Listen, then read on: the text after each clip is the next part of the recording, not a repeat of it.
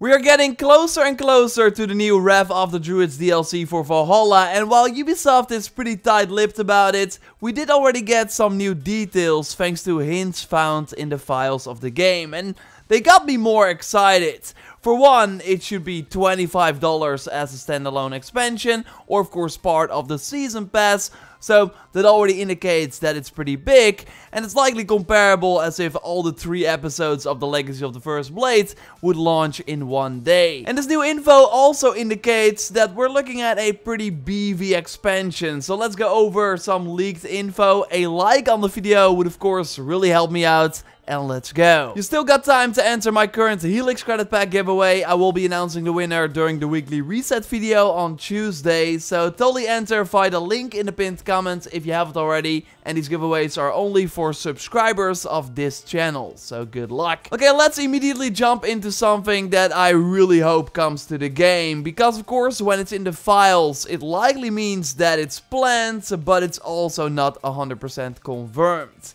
A huge shout out by the way to Andy Reloads and a link to his channel is in the video description for sharing this info and also to Petter who digged it all up. So one of the things they highlight are references to new live daily quest in Ireland and sure assassinating an elite target or freeing a prisoner is something we've seen before but to pillage a caravan could be interesting and more exciting than what we're now doing in England. And we also got a reference to a VIP hunt, so curious what that is. Like overall, it really sucks if a new expansion comes out with a cool new area to explore, and then every time for dailies or other regular stuff, you have to return to the old area of the game.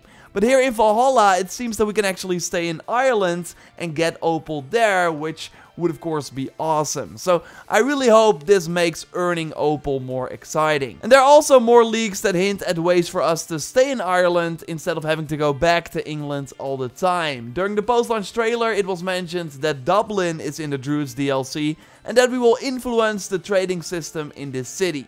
Well now according to the files, we should also expect a blacksmith and barber in Dublin. Slightly meaning that if we want to upgrade our newly found gear or use the visual customization system, we don't have to go back to the settlement to Gunnar, but can actually stay in this new area. And also change the look of our character in terms of tattoos and hairstyles. Like, that would be really cool. New buildings were also found that we might be able to interact with, so upgrades or maybe even build. So we have a worker house, a storage depot, a raider tent, and also a main building.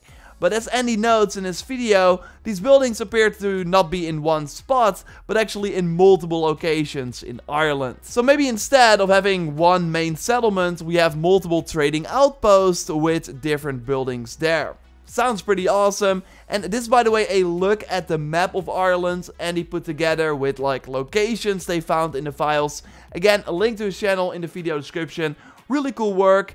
But yeah, this gives an idea of the scope of the map we can explore. Of course, not 100% confirmed. This is all based on the references found in the game files. And these hand icons are, by the way, for different trading outposts in the game. Like, if this is true, then we're looking at a pretty big DLC map. With maybe some Drengr fights waiting for us as well, because there are references to Ireland Drengr, and werewolf fights, and a spider druids. There are also references to like mythical bosses that I don't want to spoil because that would kind of ruin the surprise. But yeah, it seems like we can expect a pretty diverse lineup of enemies. And on the topic of staying in Ireland, we see mentions of pigeon coop icons, likely indicating that this way of communication used by the assassins will be back in this DLC.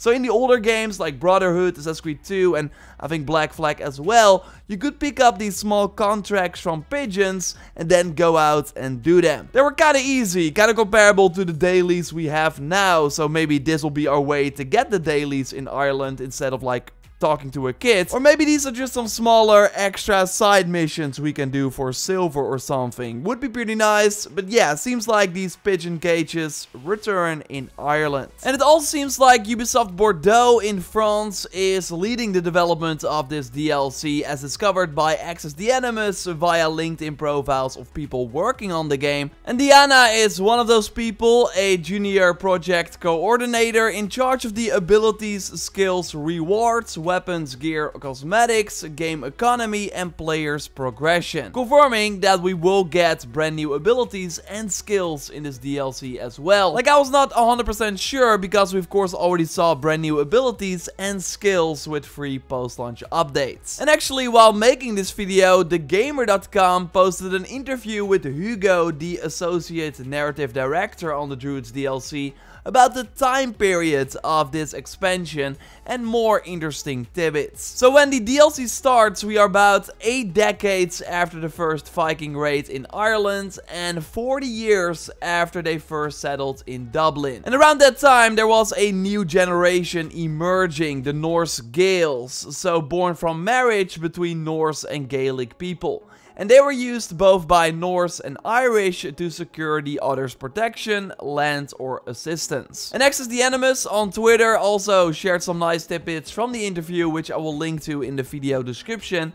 So the Vikings had no hope left of conquering Ireland at the time of the DLC, so they focused on doing business with Irish and were oftentimes used by Irish kings as mercenaries of war. And we now by the way learn that at the start of the DLC we join Flann Sinna, the High King of Ireland, in a war campaign. So this will be an important character during the DLC, just like Barid Mac and I hope I pronounced it right. He's the King of Dublin during the time of the DLC, because he was born from an Irish mother, like he's a Norse Gael as well. And he was put on the throne there by High King Áed Findliath, who actually defeated the Vikings who wanted to take over Ireland. So the Vikings are still ruling Dublin, but yeah, they're not like going to conquer Ireland anymore. So it will be less about taking over the different regions of Ireland, it seems, but more about trading goods and helping others in their war. I really hope that Ubisoft releases new footage soon so we can finally like use that during these videos. It's kind of hard to like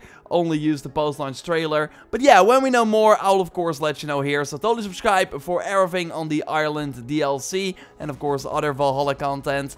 A like on the video would really help me out. Totally check out my previous video with an in-depth look at a rumor about a potential third expansion for Valhalla that seems to be coming.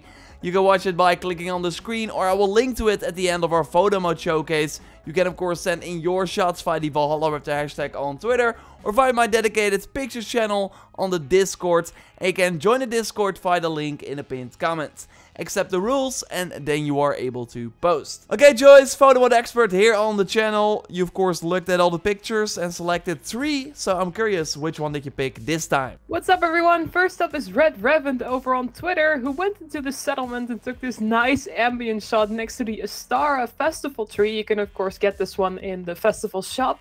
It's a very peaceful setting with the mm -hmm. sun coming up and a warm color scheme and seeing the rest of the building buildings kind of in the distance here.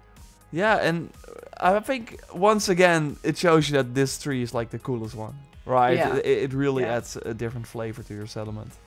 Next up is Black Legion over on Discord who delivered a nice Altair shot for you, Jor. Once hey. again, this one gives nostalgic vibes with the stealthy approach Eivor is taking here.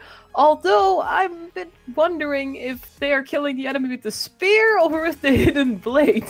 Yeah, I don't know what this spear is doing as well, but uh, I guess two steps to uh, finish the job. And to wrap up this photo reveal, we've got Blank G over on Twitter who's going dark on its ship with, I believe, one of the ship design items you can get at settlement level 6. Correct yeah. me if I'm wrong. Yeah, yeah, it's the Niflheim uh, sort of uh, figurehead there. Really cool. Yeah. I love how the ship figure is reflecting on the water and Eivor sitting on the top ready to go on a raid. Really awesome. So if you got any shots, send them our way. Of course, subscribe for way more Valhalla content. And totally check out our previous video. You can watch it by clicking on the screen. For now, we will speak to you next time. And goodbye. Bye.